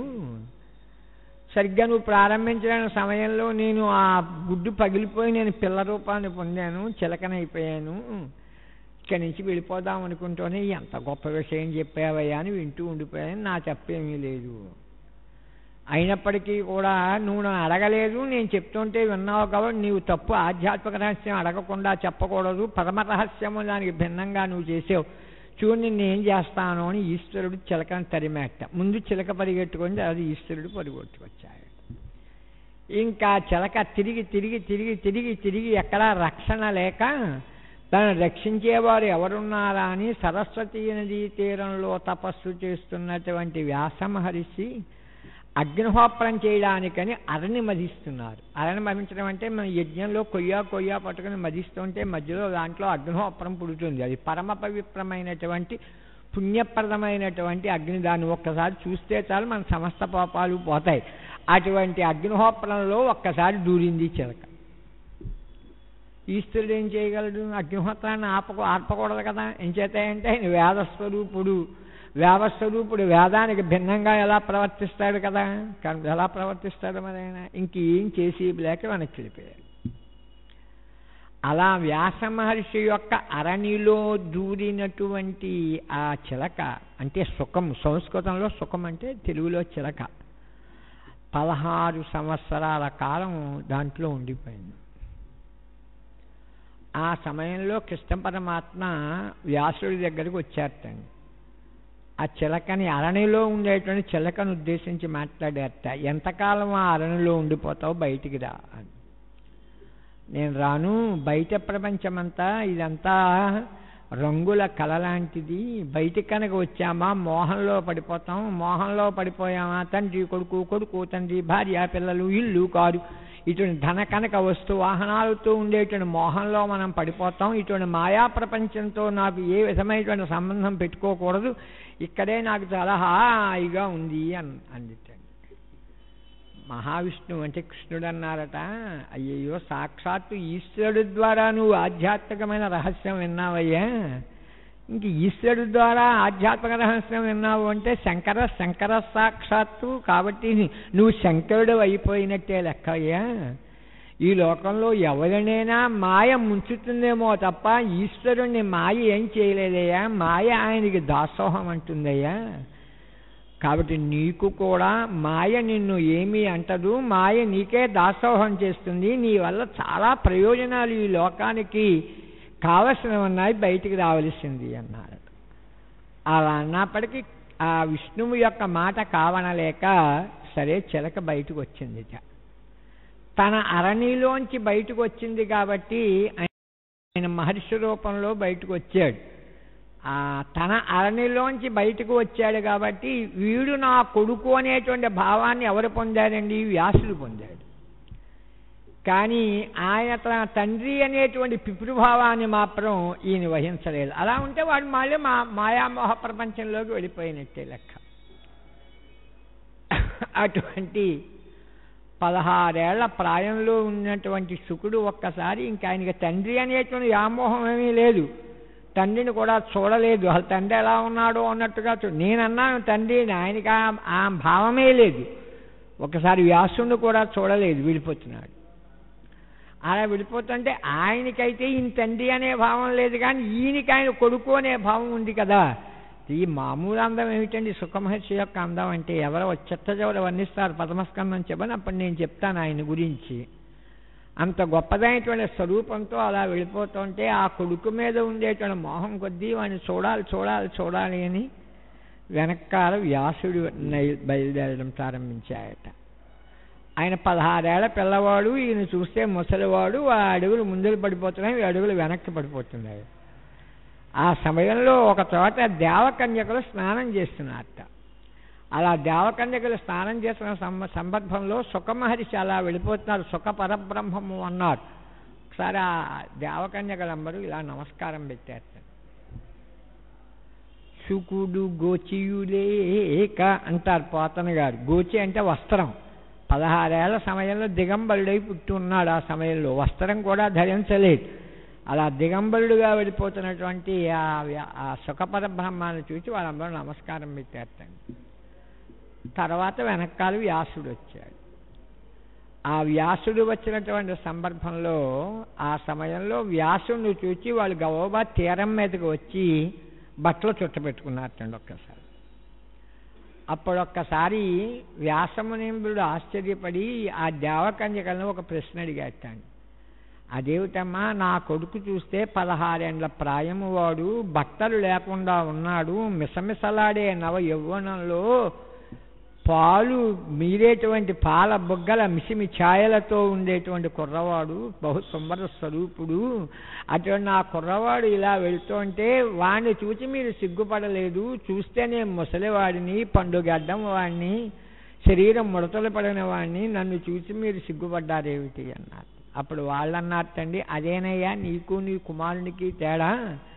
నీ కుమారుడు కూడా ఈ దారిలోనే వెళ్ళాడు కానీ వాళ్ళు మమ్మల్ని మమ్మల్ని ఈ ప్రశ్న వెయ్యలేదు కానీ నీకింకా ఈ వ్యామోహం ఉంది కాబట్టి నువ్వు ఇంకా మమ్మల్ని ఈ ప్రశ్న అడిగావు నువ్వు. కాబట్టి నీ స్థాయి కంటే నీ కొడుకు యొక్క స్థాయి గొప్పది అన్నట్టు ఈ శ్లోకంలో వ్యాస మహర్షి తన కొడుకు యొక్క గొప్పతనాన్ని రాశాడు. అది ఇప్పుడు సోత మహర్షి ఆ సుఖ మహర్షిని ప్రస్తుతి చేస్తున్నాడు. ఎం ప్రవ్రజం తమనుపేతమపేత కృత్యం ద్వైపాయనో విరాకాతరాజుహావ పుత్రేతి తన్మయతయా తరవోభినేదు తం సర్వభూత హృదయం మునిమానతోస్మి. ఈయన భావం ఎలా ఉందిట? ఎం ప్రజంతం అయ్యో నా కొడుకు పదహారేళ్ళు వచ్చేసాయి. నేను బ్రాహ్మణ వంశం వాడిని. బ్రాహ్మణ వంశంలో ఏడేళ్ళు కానీ ఎనిమిదేళ్ళు వస్తేనే వెంటనే వాళ్ళకి ఉపనయనం చేయాలి. వీడికి ఒడుగు కూడా చేయలేదు. కాబట్టి అయ్యయ్యో వీడు ఒడుగు చేయకుండా ఇలా వెళ్ళిపోతున్నాడేమిటి? ఎం ప్రవ్రజంతం పూర్తిగా సన్యాసాశ్రమ స్వీకారం చేసినట్టుగా ఉన్నాడు. అనుపేతం. కాబట్టి యజ్ఞోపవేతం కూడా వీడి మెడలో వేయలేదు నేను. ఎం ప్రౌరజంతమనుపేతమపేత కృత్యం ద్వైపాయనో వెరాకాతర ఆయుహావ. ఆ సమయంలో ఆ కృష్ణద్వీపం అనేటువంటి దాంట్లో పుట్టినటువంటి వ్యాస మహర్షి సత్యవతి సూనుడు ఆయనకే ద్వైపాయన మహర్షి అని పేరు కాబట్టి నాయన పుత్రా కుమారా నాయన ఆగు ఆగు ఆగు ఆగు అని వెనకాల ఒక్కసారి గట్టిగా చేర్చండి. మనం కొండల్లో కానీ కోనల్లో కానీ వెళ్ళినప్పుడు ఓ అంటే తిరిగి మళ్ళీ రీసౌండ్ ప్రతిధ్వని మళ్ళీ అదే వస్తుంది తండి ఎలా వచ్చింది తండి ఆ రీసౌండ్ ప్రతిధ్వని అంటే ముందు కొడుకు వెళుతుంటే వెనకాల తండ్రి వెళుతుంటే పాపం ఆ చిన్నవాడైన పడుచువాడైన కొడుకు వెంట పడలేక తండ్రి యొక్క కాళ్ళు నొప్పులు బట్టి ఎక్కడ పూర్వకాలంలో చెప్పులు లేవు కాబట్టి రక్తాలు కారిపోతున్నాయి అని ప్రకృతికి ఒక విధమైనటువంటి జాలి కలిగి ఎలాగైనా వ్యాసుని పట్ల ఎలాగైనా నిరోధం కలగజేసి నాప్ చేయాలి అని తన కొడుకు సమాధానం ఇచ్చినట్టుగా తాము మాట్లాడాలి అని అక్కడ ఉండేటువంటి కొండలు చెట్లు కూడా ఆ సమయంలో వాళ్ళు కూడా సుఖమహర్షి యొక్క రూపాన్ని పొందిపోయినటువంటి వారే కంఠధ్వని అనుకరించినటువంటి వారే. యోగ బలము ద్వారా సుఖమహర్షి యొక్క రూపాన్ని అవి కూడా పొందినటువంటివి అయి అవి సమాధానం ఇచ్చాయిటండి ఒక్కసారి. ఓ అంటే ఓ అని ఎం ప్రవ్రజం తమనుపేతమపేత కృత్యం. ద్వైపాహయనో విరహకాతరాజుహావ పుత్రే ఏతి తన్మయతయ తరవోభినీడు ఆ సమయంలో అక్కడ ఉండేటువంటి చెట్లు సమాధానం ఇస్తే అమ్మయ్య పోని నా కొడుకు నాతో మాట్లాడడం సంతోషపడదాము అనుకున్నటువంటి అలా తండ్రిని ఆ విధంగా చేసినటువంటి ఏ గొప్పవాడైనటువంటి శుకుడు ఉన్నాడో సర్వభూత హృదయాలలో యోగ బలంలో ప్రవేశించినటువంటి ఏ సుఖయోగీంద్రుడు ఉన్నాడో ఆ సుఖపర బ్రహ్మానికి నమస్కారం పెట్టాను అని ముందు శుకుడికి నమస్కారం పెట్టాడు. ఆ తర్వాతే కృష్ణుడికి వాళ్ళకి నమస్కారం పెట్టాడు. నారాయణం నమస్కృత్య నరంచీవ నరోత్తమం దేవీం సరస్వతీం వ్యాసం తతో జయం ఉదీయయే. సుఖమహర్షికి ఇచ్చిన ప్రాముఖ్యాన్ని కృష్ణుడికి తర్వాత ఇచ్చాడు అర్జునుని తర్వాత పెట్టాడు సరస్వతిదేవిని తర్వాత పెట్టాడు వ్యాసుని తర్వాత పెట్టాడు. జయం అంటే భాగవతం లేక భారతం తర్వాత పెట్టాడు. అలా వెళ్ళిపోయినటువంటి వాడు ఎక్కడి వరకు వెళ్ళిపోయాట కైలాస పర్వతం వరకు వెళ్ళిపోయాడు. ఎవరండి? మరి ఆయన ఈశ్వరుడు కదా మరి ఈశ్వర స్వరూపుడు కదా మరి సుఖమహర్షి. మరి ఆయన స్వస్థానం ఎక్కడయ్యా అంటే మరి కైలాస శిఖరం మానస వరకు వెళ్ళిపోయచ్చండి ఎలాగైనా తన కొడుకుని వెనక్కి రప్పించాలి అని. అప్పుడు వ్యాసమహర్షి ఇంకా వెళ్ళలేక తన దగ్గర ఉండేటువంటి ఇద్దరు శిష్యులకి పెద్దవాడికి ఒక శ్లోకము రెండో వాడికి ఇంకో శ్లోకము చెప్పి ఇంకా నేను నా కొడుకు వెంట వెంబడించి వెళ్ళలేకపోతున్నానయ్యా. ఒక పని చేయండి మీరు. నేను నీకో శ్లోకం నీకో శ్లోకం చెప్తాను. ఒక్కసారి మా కొడుకు వెంట పరిగెట్టుకు పరిగెట్టుకు వెళ్ళి నువ్వు ఈ శ్లోకం నువ్వు ఈ శ్లోకం చదవలసింది అని వాళ్ళిద్దరికీ చెప్పేస్తాడు. ఇంకా మానసరోవరం వరకు వెళ్ళిపోయాడు. ఆ సమయంలో మొదటి శిష్యుడు శ్లోకాన్ని చదువుతున్నాడు. ఈ శ్లోకం మనకి ఎక్కడ కనబడుతుందంటే భాగవతంలో కృష్ణ పరమాత్మ బృందావనంలోకి ప్రవేశిస్తున్నాడు. ఆ బృందావనంలో ప్రవేశించినటువంటి కృష్ణుని యొక్క సగుణ రూపాన్ని వ్యాసుడు వర్ణించాడు. ఆ శ్లోకం ఇప్పుడు నేను ముందు శ్లోకం చదువుతున్నాను. బర్హాపీడం నటవరవపు कन्नयोः कन्निकारम् बिभ्रद्वासकनककपिशं वैजयन्तीं च मालाम् रन्ध्रान्वेणोः अधरसुधया पूरयन् गोपबृन्दैः बृन्दारण्यं स्वपदरमणौ प्राविशद्गीतकीर्तिः। ఇది కృష్ణ పరమాత్మ యొక్క సగుణ రూపాన్ని వహి వర్ణించినటువంటి శ్లోకం. కొంచెం వ్యాసుడు యొక్క రచన మహాభాగవతంలో దీంట్లో కొంచెం చిక్కగా ఉంటుందని కొంచెం జాగ్రత్తగా పరిశీలిస్తే తప్ప అర్థాలు బాధపడవు. బరాపీడం అన్నట్టు ఒక్కసారి బరహాపీడం అన్నంతో అడుగు ముందుకు పడలేపుతాను వెనక్కి పడిపోయించండి ఒకసారి వెనక్కి తిరిగేటాను అదేమిటయ్యా ఈ లోకంలో తొమ్మిది రత్నాలతో పొదిగినటువంటి బంగారముతో తయారు చేసినటువంటి హ్యామమయ కిరీటాన్ని శిరస్సు మీద ధరించిన వాళ్ళని చూచాము లేక చక్కనైనటువంటి సువాసనలు వెబదలేటువంటి పుష్పాల చేత తయారు చేసినటువంటి పుష్ప కిరీటాన్ని ఎత్తిమే ధరించిన వాళ్ళని చూసాం అది ఇది కాకుండా ఒక జడ జాతికి అంటే త్రియక్ జాతికి చెందిన ఒక పక్షి జాతికి చెందినటువంటి ఒక నెమలి యొక్క ఒక వెంట్రుకను తీసుకుని దాని నెత్తి మీద ఒక అలంకారంగా కిరీటంగా ధరించాడా? ఎవడయ్యా ఆ మహానుభావుడు అని వెనక్కి తిరిగాట. కృష్ణ పరమాత్మ యొక్క తత్వం అంతా దేంట్లో ఉందంటే అంటే నెమలి ఈకలో ఉందండి నెమలి పింఛన్లో ఉందండి. ఏమిటండి ఈ నెమలి యొక్క గొప్పతనము అంటారా? ఈ లోకంలో ఒక్కొక్కరికి ఒక్కొక్క శక్తి ఉంటుందండి. అందులో మగ నెమలికి మాత్రమే పించి ఉంటుందండి. పురివిప్పి నాట్యము చేసేటువంటి శక్తి అది మగ నెమలికి మాత్రమే ఉంటుందండి. ఆడ నెమలికి పురి ఉండదు అనగా పించి ఉండదు. అది కూడా ఎప్పుడు నాట్యం చేస్తున్నాయి అంటే ఆ నెమలి ఆకాశంలో నల్లమైనటువంటి మేఘం కనపడినా ఆ నల్లనేటువంటి మేఘానికి ఒక్కసారి ఇలా పురిపి నాట్యం చేస్తుంది. ఆ సమయంలో ఆడనెమలి ఒక్కసారి దాన్ని చూస్తుంది ఇది కూడా చూస్తుంది. అలా చూచిన వెంటనే వీక్షణ మాత్రము చేతనే నెమలి గర్భవతి అవుతుంది సృష్టిలో రహస్యం అండి. ఇది మీకు పురాణాల్లో వర్ణించారు. సగర చక్రవర్తికి అరవై వేల మంది కొడుకులు అంటే నిజంగా ఏ భార్య అరవై వేల మంది కొడుకుల్ని కనగలదు? ఎన్ని నొప్పులు పడగలదు. ఆ మంత్రసాని మాత్రం ఎన్ని పురుళ్ళు పొయ్యగలదు ఒక్కసారి మీరు ఆలోచించండి. అంతమంది కొంతమంది ఏమంటారు అంటే అందుకే పురాణాలని పుక్కర పురాణాలు అని తీసి పాడేస్తారు. కానీ పురాణాల్లో రాశారు పూర్వకాలంలో సృష్టి సమయంలో సృష్టి అభివృద్ధి చేయడానికని మహర్షులు కూడా వివాహాలు చేసుకున్నారు. ఎందుకంటే ఆ భార్య ఎందు పుత్రులని సృష్టింపజేయాలి. ఎలా సృష్టింపజేశారయ్యా? తపస్సు ద్వారా సృష్టింపజేశారు.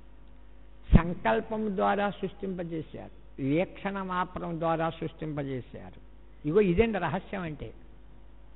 అంతేగాని మనం ఈనాడు సంతానాన్ని పొందేటువంటి విధానంగా వాళ్ళు సంతానాన్ని పొందినటువంటి వాళ్ళు కాదు. అలా ఈనాటికి ఎవరున్నారా? అంటే నెమలి ఉంది. ఈనాటి కూడా నెమలి ఏ ప్రక్రియను అవలంబించకుండా అది కేవలం వీక్షణ మాత్రం చేవ సంతానాన్ని పొందుతుంది. ఆయన యాదవ వంశాన్ని అభివృద్ధి పొందించుకుందామనేటువంటి ఉద్దేశం కొద్దీ కూడా అంతమంది స్త్రీలను వివాహమాడినప్పటికీ కూడా నెమలి ఏ విధంగా బ్రహ్మచర్యాన్ని ఎల్లప్పుడూ అవలంబించి ఉంటుందో అదేవిధంగా బ్రహ్మచర్య వృత్తిని అవలంబించినటువంటి వాడే కృష్ణ పరమాత్మ సదా బ్రహ్మచారి అని వ్యాఖ్యానం చేశారు. ఇది మళ్ళీ రాముడికి ఇవ్వలేదే మాట. కృష్ణ పరమాత్మ గారు సదా బ్రహ్మచారి ఎల్లప్పుడూ బ్రహ్మచర్యావస్థలో ఉన్నటువంటి వాడు అని. కాబట్టి కృష్ణుని యొక్క తత్వం అంతా కూడా ఇదే. కొంతమంది పురాణాలు చెప్తూ కృష్ణ పరమాత్మ పదహారు వేల మంది గోపికల్ని పెళ్ళాడండి అంటారు. చాలా పొరపాటు అండి. అలా చెప్పాడు అంటే వాడు పురాణం చదవలేదు అని అర్థమండి అసలు కృష్ణ పరమాత్మ ఏ గొల్ల పిల్లని వివాహం ఆడలేదు.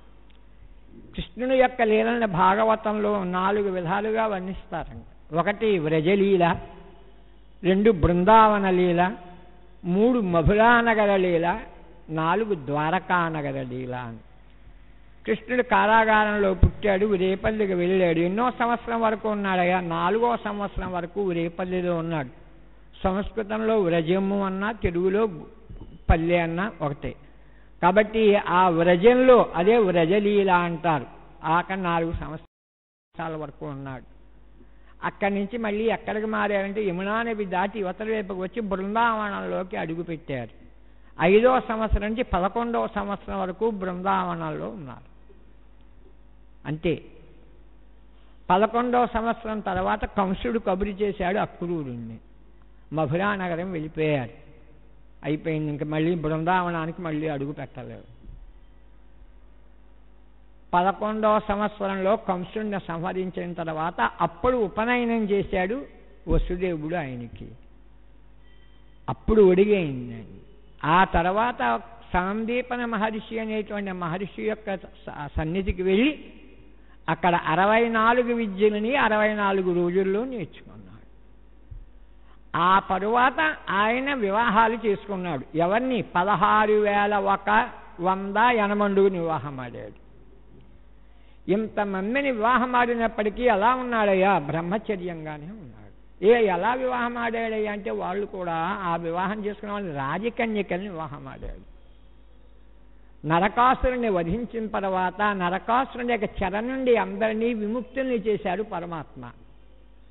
ఆ సమయంలో నరకాసురుని యొక్క చెరలో ఉండిపోయిన పదహారు వేల వంద మంది రాజకాంతల్ని బంధ విముక్తుల్ని చేసి చేయించారు.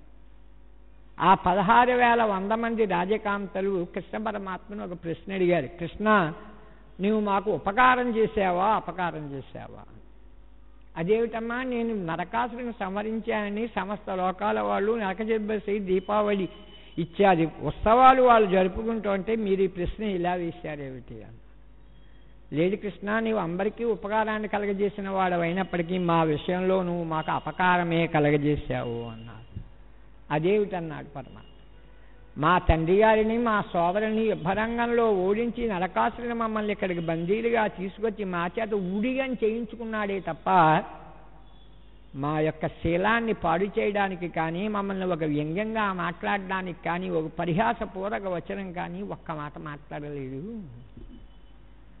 ఇక్కడేం మాకు బాగుందయ్యా. ఇప్పుడు నీ వేళ నువ్వు నరకాసుని సంహరించావు ఇప్పుడు మమ్మల్ని ఎక్కడికి వెళ్ళమంటావు? మేము ఇంటికి వెళితే మా తండ్రి మమ్మల్ని స్వీకరిస్తాడా? ఏ అన్నయ్యనా ఏ సోదరునైనా రా సోదరి అని మాకు మళ్ళీ పసుపు కుంకుమ చీర పెట్టి పంపిస్తాడా? ఏడాది పాటు లంకానగరంలో ఉండిపోయినటువంటి సీతా మహాసాధ్యం మీదే అపనంబులు కురిపించినటువంటి ఈ దేశంలో మాకు రక్షణ ఎలా ఉంటుందనుకున్నావు నువ్వు? నరకాసుల వధ వల్ల నువ్వు మా స్త్రీలోకానికే నువ్వు మాకు అపకారాన్ని కలగజేసావు. నిలదీశారండి పరమాత్మను వాళ్ళు. వాళ్ళ యొక్క నిష్కలంకమైన ప్రశ్నని అర్థం చేసుకున్నటువంటి పరమాత్మ ఆ పదహారు అప్పటికే హేమండుగురితోటి వివాహం అయిపోయింది. కొంతమందితో అయిన తర్వాత కొంతమంది మొత్తం పదహారు వేల నూట ఎనిమిది మంది వివాహం ఆడాడు అందరినీ రాజకాంతలు. ఆ పదహారు వేల వంద మంది కూడా ఎవరయ్యా అంటే బ్రహ్మగారు పంపించారు. అది దశమస్కంధంలో సుర కన్యలు ఓ దేవకాంపలారా పరమాత్మని సేవించడానికి మీ జన్మలను చరితార్థం చేసుకోవడానికి ఎంతసేపు ఈ స్వర్గలోకంలో నాట్యాలతోటే ఉన్నారు మీరు మీరు ముక్తి కనుక చెందాలి అంటే అదిగో కృష్ణ పరమాత్మ ఆవిర్భవిస్తున్నారు కాబట్టి మీరందరూ భూలోకానికి రండి అని కృష్ణావతారం అయితే వాళ్ళందరినీ భూలోకానికి పంపించాడు వాళ్ళందరినీ కూడా. సురకన్యలు మీరు సంబరతనులై పుట్టుడు. కాబట్టి పరమాత్మ అవతరిస్తున్నాడు. కాబట్టి మీరు కూడా కింద అవతరించండి అన్నారు. ఏ ఒక్క స్త్రీని గొల్లవారిని వివాహం ఆడలేదు. అదేమిటండి రాధా కళ్యాణము అని చెప్పి అంటూ ఉంటారు కదా రాధాదేవిని వివాహం ఆడాడు అంటారు కదా అసలు ఎక్కడ భాగవతంలో రాధాదేవి అనేటువంటి మాటే లేదు.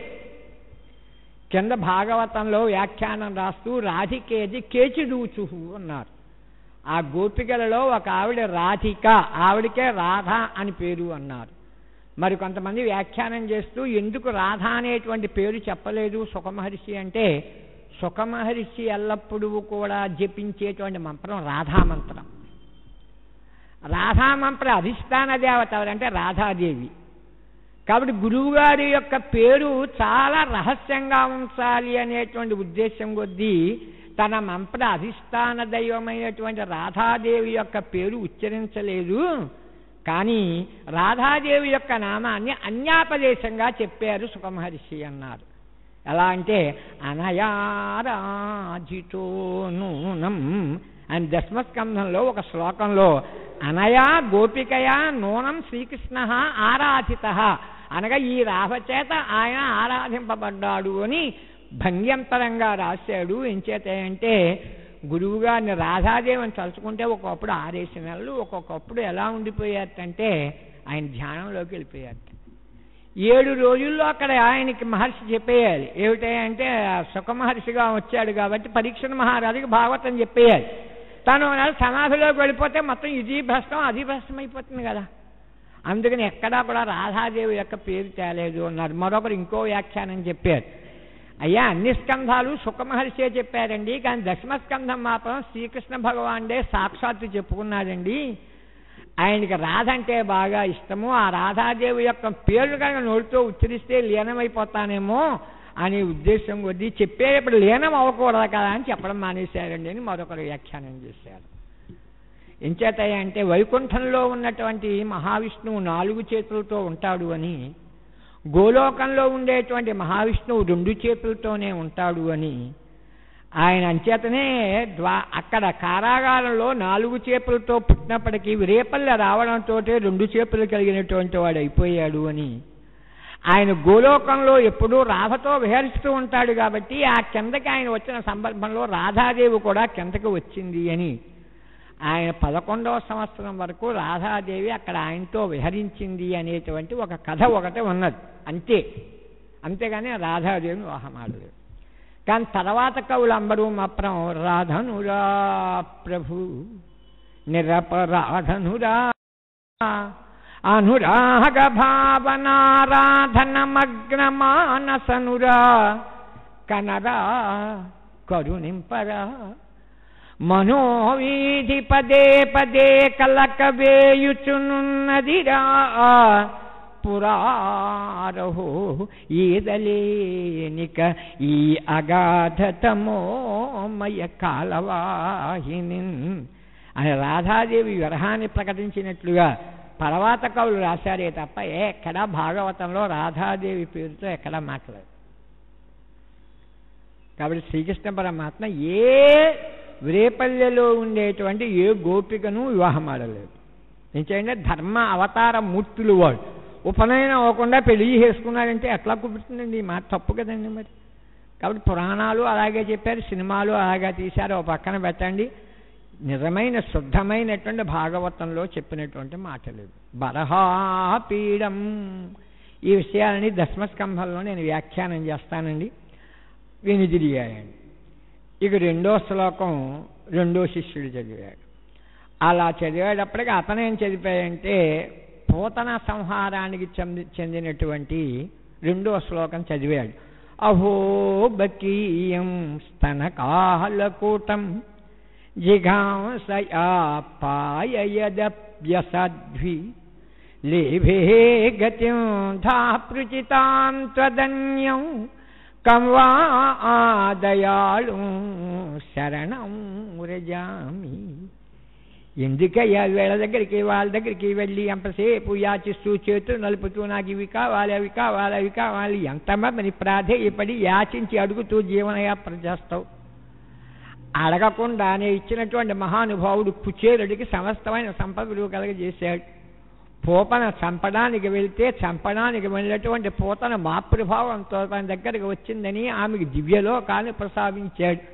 అటువంటి మోక్ష ప్రదాత అయినటువంటి శ్రీకృష్ణ పరమాత్మ అడగకుండా ఇన్ని ఫలితాలు చేకూరుస్తుంటే లీభీ గతిం ధృచితాంత్వదన్యం కంవా దయాళు శరణం రజామి కాబట్టి నేను అంటూ నమస్కారం అంటూ పెడితే కృష్ణునికే నమస్కారం పెడతా అంత నమస్కారం పెట్టాను. దీంట్లో కూడా అద్భుతమైన వ్యాఖ్యానాలు ఉన్నాయి. అవన్నీ దశమస్కంధంలో నేను చెప్తాను. ఈ రెండు శ్లోకాలు చదవడంతో వెనక్కి వచ్చేసాను. ఎక్కడున్నా అయ్యయ్య అన్నాడు. మహాభాగవతము అనేటువంటి ఒక ఖజానా ఉందయ్యా. దాంట్లో పద్దెనిమిది వేల రత్నాలు ఉన్నాయి. రెండురా ప్రాణమాత్రమే ఇక్కడ చూపించాము అన్నారు. నాయన ఇప్పుడు మళ్ళీ వెనక్కి వచ్చాడు. సరస్వతి నదీ తీరానికి వచ్చాడు. అప్పుడు తండ్రి గారు అనే భావన ఆయనకి లేదు. అక్కడ వ్యాసమహర్షి ద్వారా మొత్తం భాగవతం అంతా ఆయన ద్వారా విన్నాడు. అటు అందుకు అటువంటి సుఖమహర్షికి ఒక్కసారి ఎం ప్రభురజంతమనుపేతమపేత కృత్యం ద్వైపాయనో విరాకాతర ఆజుహావ పుత్రేతి తన్మయతయా ఆహతరవోభినేదు తం సర్వభూత హృదయం మునిమానతోస్మి మునీంద్రులారా నన్ను మీరు నిఖిల లోక మంగళకరంపైన ప్రశ్న అడిగితిరి. మీరు అడిగేటువంటి ప్రశ్న సర్వసాధారణంగా దేవుడి కనుక కనపడినట్లయితే నాకు ప్రయోజనం కలగజేసేటువంటి నాకొక్కడికి ప్రయోజనం కలగజేసేటువంటి కోరికే ఎవరైనా కోరుతారయ్యా కానీ మీరు ఎటువంటి కోరిక కోరారో తెలుసా? నిఖిల లోక మంగళకరం పైన సమస్త లోకాలకి కళ్యాణాన్ని కలిగించే శుభాన్ని కలగజేసేటువంటి ప- ప్రయోజనం బడిగితిరి ఎంత గొప్ప విషయాన్ని మీరు నన్ను అడిగారయ్యా. ఏమిటన్ కృష్ణ సంప్రశ్నంబు చేయంబడు. ఈ లోకంలో ప్రశ్నలు కూడా మూడు రకాలుగా ఉంటాయి. ఒకటి ప్రశ్న రెండు సంప్రశ్న మూడు పరిప్రశ్న. ప్రశ్న అంటే ఏదైనా చెప్తున్నప్పుడు మాకు అర్థం కాలేదండి అని పాఠాలు చెప్తున్నప్పుడు పిల్లలు ఒకసారి లేచి నిలబడి అయ్యా గురువుగారు మరోసారి చెప్పండి అని అడిగితే అది ప్రశ్న. కాలు అలా కాకుండా యజ్ఞాలు కానీ యాగాలు కానీ చదువుతున్నప్పుడు ఉత్సవాలు జరుగుతున్నప్పుడు అయ్యా వచ్చి ఒక గంట గంటన్నర ఒక కాస్త ఉపన్యాసం చేయండి అని మీరు అడిగితే అవి చెప్పేదాన్ని సంప్రశ్న. అలా కాకుండా ఒక శిష్యుడు గురువుగారి దగ్గరికి వెళ్ళి సమిత్పాణి ఒక్కసారి ఇలా చేతులు దగ్గరగా చేర తీసుకుని సమిధులు చేతిలో పెట్టుకుని అని కొంతమంది అర్థం చెప్పారు. కానీ సమ్యక్ యతో ప్రసారతో పాణి ఇస్తే సహా సమిత్పాణి అలా చేతులు దగ్గరగా చేసి గురువుగారిని ఆశ్రయించి గురువుగారి దగ్గర మంత్రోపదేశం చేసుకుని ఎవరైతే కుటకుచ్చులవుతారో దాన్ని పరిప్రశ్న అంటారు. ఇప్పుడు మీరు నన్ను ఎక్కడ యజ్ఞం చేస్తున్నారు ఇక్కడ మీరు ఈ నైమిషారణ్యంలో సప్రయాగం అనే యాగం చేస్తున్నారు. యాగ సందర్భంలో అడిగారు. కాబట్టి మీరు నన్ను సంప్రశ్న చేశారు. ఏమిటన్ కృష్ణ సంప్రశ్నంబు చేయబడు? ఏవి నిర్విఘ్నయో నిర్హేతుకయోనైనా ఆ, ఆ, భక్తి అది వాసుదేవునియందు జ్ఞాన వైరాగ్యంబులను పుట్టించు.